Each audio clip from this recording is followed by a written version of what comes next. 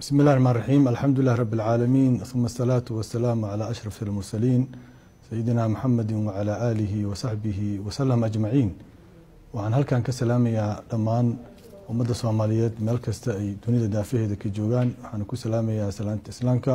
asalaamu calaykum waraxmat ullaahi wabarakaatu waxaan rabaa si gaaban inaan uga hadlo doodii maalmahan ka socotay baraha bulshada ee dhalisay dooda badan iyo hardanka iyo kala duwanaanshaha keentay xagga fikirka iyo xagga maaragtay aragtida intaba. Waxaan rabaa marka ugu horeysa inaan u mahad celiyo culimmadii soomaaliyeed ee sida degan ee naseexada leh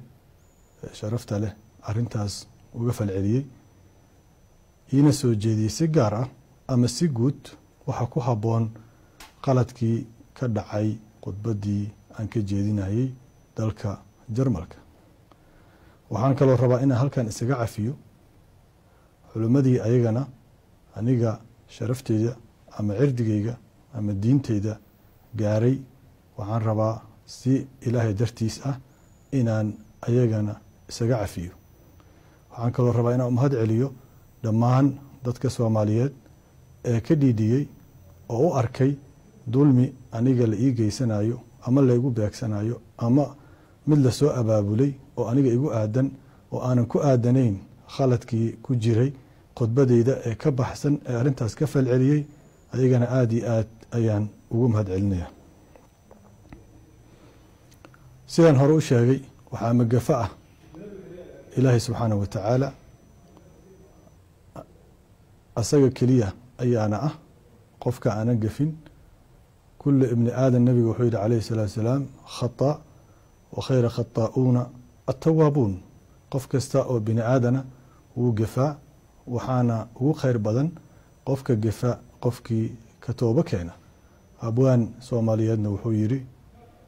gefka bashar baad u tahay inaad ka garaabto qalad gobbay caadada tahay waxaan rabaa inaan caddeeyo sidaa markii hore u caddeeyey anigu marna inuu qasadkayga ahayn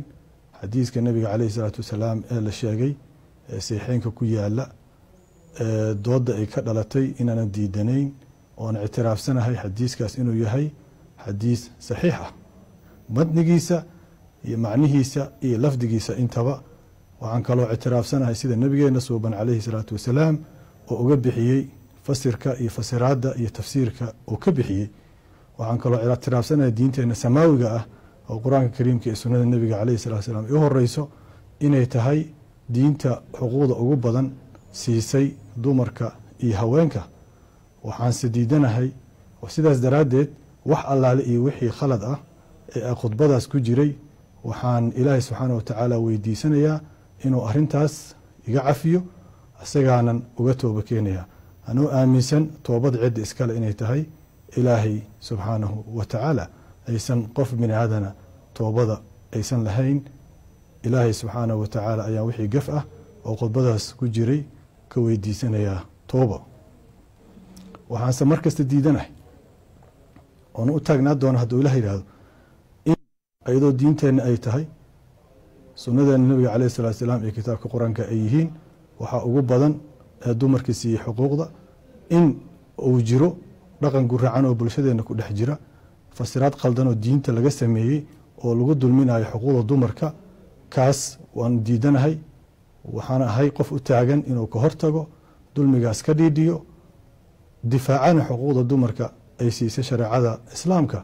Sidaan ognahay nabigeena caleyhi salaatu wasalaam habluhu waxay ahaayeen senior counsilkiisa wax la yidhaahdo taladii golihiisa saray ku jireen islaamka ayagaa ugu horreeyey nabiga wax rumeeyey ayagaa qofkii ugu horreeyey u dhintay diintan ayagay ahaayeen ayaga kaalin aysan ka qaadan diintanna ma jirto. Qur'aankeena kariimkana saan hore u sheegay wuu ammaanay haween soo jeediyey adduunkan tala soo qabtay wuu ammaanay. Sidaas daraaddeed waan u taaganahay inaan difaaco cidaan uga cabsanayo ama uga gambanayana ma jirto. Xuquuqda iyo kaalinta siyaasadeed iyo kaalinta bulsho oo qur'aankeena kariimka ah siiyey haweenkeenna. Sidaas daraaddeed waxaan rabaa in dhacdadaas dhacday iyo falceliskii ka yimid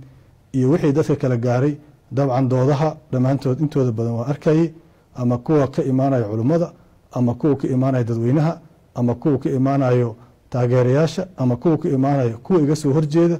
ama kuwa ka imaanaya siyaasiyiinta intaba. Waan arkayey waana ii muuqdeen. Sidaas daraaddeed anigu qof kasta oo arintaas wax igu yeeleeyey ama wax iga soo gaaray waan cafinayaa qof kasta oo aniga aan dhibaato u geystay ama gef iga tabanayana waxaan rajaynayaa asagana inuu iska cafiyo arintaasna ay soo xiranto halkaasna ay ku dhammaato dhammaanteen dadka soomaaliyeedna aysa cafiyaan.